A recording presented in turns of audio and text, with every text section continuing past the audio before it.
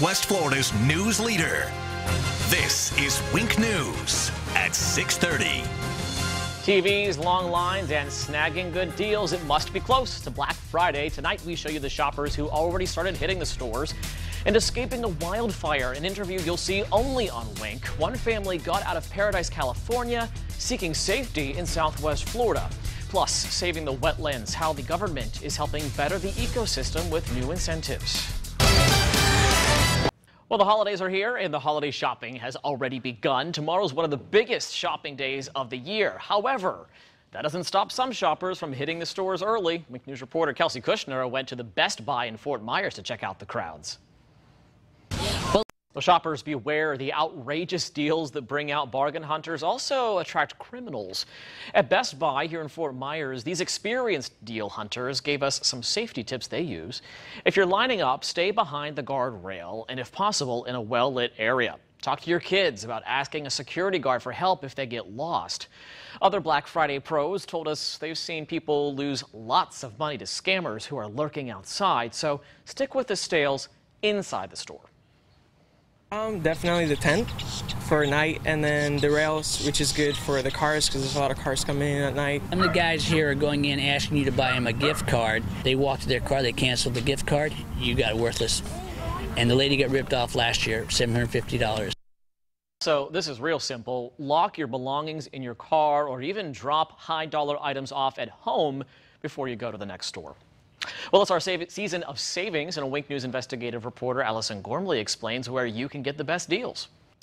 Only on Wink, a daring escape. A California family barely got out when their hometown went up in flames. This is video of the Snow family driving right past that fire. I yelled at my mom. I said, get dressed. We need to leave now. Now they're in Cape Coral enjoying Thanksgiving, and only on Wink News, reporter Anika Henniger explains they have a lot to be thankful for. And they say they do not plan on moving back to Paradise, California. Well, what's affordable housing in Collier County? Some say $1,000, for others around $1,500 for rent, but many believe those don't exist. So the county commissioners tackling that problem.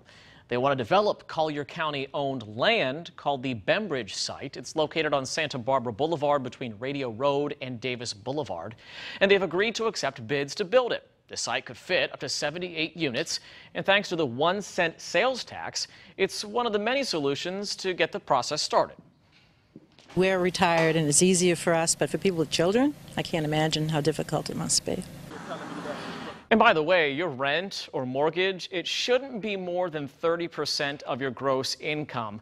Data compiled by Collier County shows almost 30,000 households there pay more than 50% of their monthly income for housing.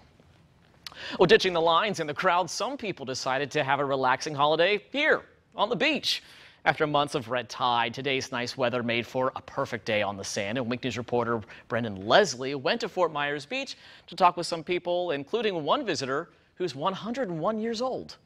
Thank you, Brendan. Well, new tonight, a suspected car burglar is off our streets. Cape Coral police say 19-year-old Joshua Clemens broke into at least four cars and stole things from inside.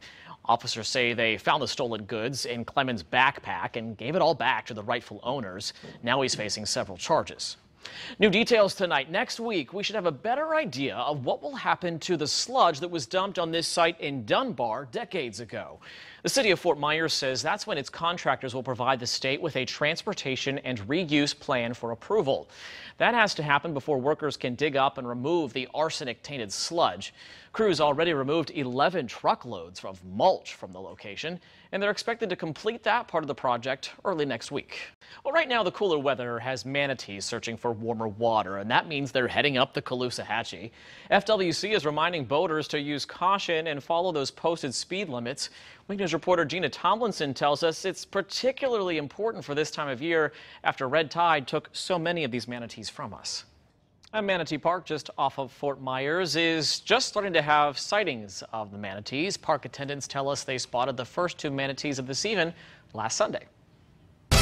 More than 750 volunteers began this holiday helping prepare thousands of Turkey Day meals. They're part of our community's hunger relief effort, Feeding the 5,000. That group has actually fed more than 70,000 people since it started. This year, they delivered more than 4,000 meals to Southwest Florida families in need. Turkey and gravy and cranberries. Seeing the people, giving it to the people, and how thankful they are to get the meal on Thanksgiving. That's that's what it's always been. It's, it's just a, they're so thankful. I think this feeding the 5,000 is probably the best example of the joy of feeding others. Here's your Volunteers delivered meals throughout five counties today to put food on the table and smiles on the faces of families living in Florida. Well, making sure 1,000 people have full stomachs this Thanksgiving Day, the Salvation Army also served people a full feast in Lee and Hendry counties. The organization spent weeks preparing to welcome the hundreds of neighbors in need this year. This is something every year myself, my family does every year with the Salvation Army. We go back to the community. It's a great thing the Salvation Army does here every year, feeding the, the people in need in Lee County, and it's happy Thanksgiving to all. The Salvation Army doesn't only help on holidays, but has different programs that give back to the community year round. And it's a beloved and time-honored tradition here in Southwest Florida. Tomorrow night, the Edison and Ford Winter Estates, they're going to kick off their 43rd holiday night celebration with the annual tree lighting ceremony. This is video from previous years. This year, organizers say the event will offer visitors an impressive light show with more lights and new displays and decorations. And the fun all starts at 6 tomorrow evening.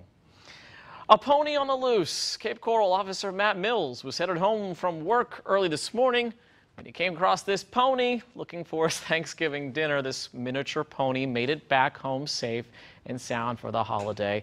And speaking of animals, here's a live look at the Eagle Cam in North Fort Myers. Southwest Florida's favorite bald eagle, Harriet, laid two eggs within the last week. This egg should hatch 30, 35 days, so that means we could have some Christmas eagle babies. You can trust Wink News to keep you posted on when those eggs start to pip and then when they start to hatch. Always exciting to watch It that. is. I remember last year we were just so excited to see the little babies come out, and then they're so adorable. We really were, and uh, it's it's kind of a cool night by Florida standards for the Eagles. Definitely. We're going to see those temperatures continuing to work their way down into the lower 60s throughout most of southwest Florida. Then we're going to see even cooler conditions coming through with another front by next week. Even some highs will be in the 70s. So we do get a break from the 80s for the next couple of days coming in. So starting Tuesday, look at that Channing 70s. I'm not going to complain about that. All right, well, the Big Bang Theory is next on WXCW, and Wink News continues on a Wink TV in just a moment.